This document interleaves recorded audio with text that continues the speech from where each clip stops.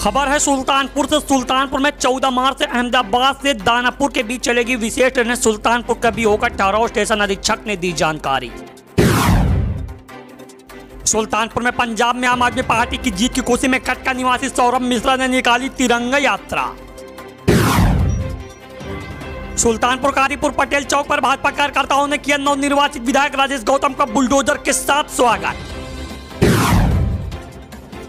Sultanpur Vanshraj Upadhyay murder case में पिता पुत्र समेत करार, तीन दोषियों को सेशन जज पी के जैन सिंह की अदालत ने 14 मार्च को फैसला सुनाएगी। सुल्तानपुर जिलाधिकारी ने विकास खंड डूबेपुर में स्थित सौरमो गौशाला का किया औचक निरीक्षण। सुल्तानपुर एसपी के आदेश पर जनपद के विभिन्न थाना क्षेत्र में पुलिस ने 35 लोगों पर शांति भंग की कार्रवाई सुल्तानपुर के नई पास के विकेट खिलाड़ियों को अंतर महाविद्यालय क्रिकेट प्रतियोगिता के विजेता होने पर आज प्रचार में किया सम्मानित। सुल्तानपुर कलेक्ट्रेट सभागार में जिलाधिकारी की अध्यक्षता में स्वच्छ सर्वेक्षण की तैयारी में संदर्भ में हुई बैठक। सुल्तानपुर संत तुलसीदास पीजी कॉलेज में शैक्षिक संगोष्ठी का हुआ आयोजन। सुल्तानपुर आगामी त्योहार को लेकर नगर सहित पूरे जनपद में पुलिस अधीक्षक के निर्देश पर स्थानीय पुलिस ने किया flag march.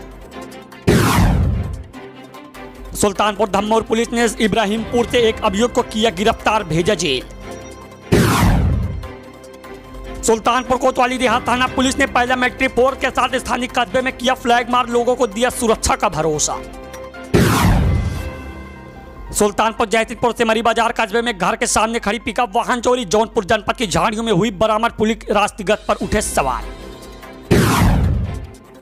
सुल्तानपुर, लंबू एक सौ नब्बे विधानसभा के भाजपा प्रत्याशी सीताराम वर्मा की जीत की खुशी में क्षेत्र में बांटे गए एक क्विंटल लड्डू। सुल्तानपुर, लंबू विधानसभा में आठ दलों की जमानत हुई जब्त। सुल्तानपुर जैसेपुर कोड़ेबार थाना क्षेत्र के एक गाँव के अंडा खिलाने के बहाने बहाला फुसला कर नाबालिग के आपा के कर आरोपी हुआ गिरफ़्तार। सुल्तानपुर कादीपुर कनिक्स यादव के सहयोगी के बताया बीएसएफ के जितेंद्र फ्रंटियर है, सभी में काम किया और बहुत बहादुरी से अपनी ड्यूटी निभाई है। सुल्तानपुर कादीपुर बीएसएफ में डिप्टी कमांडर के पद पर तैनात कनिक्स यादव को बीएसएफ के जवानों ने दिया गार्ड ऑफ़ ऑनर का सलाम।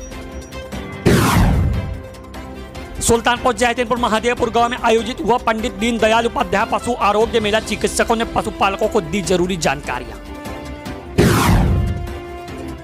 सुल्तानपुर जयतीनपुर किलापुर गाँव में मोड़ पर स्थित किराने की दुकान में सेन लगाकर चोरों ने बत्तीस हज़ार दो सौ की नकदी चोरी पुलिस दी तहरीर